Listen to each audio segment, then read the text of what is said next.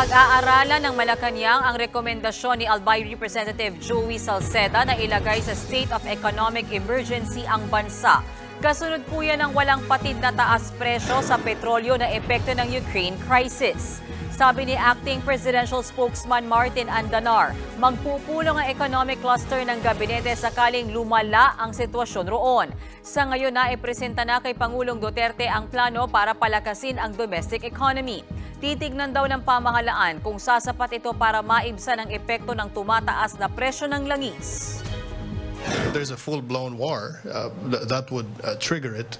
But again, we will have to uh, uh, ask uh, our experts at the Department of Finance.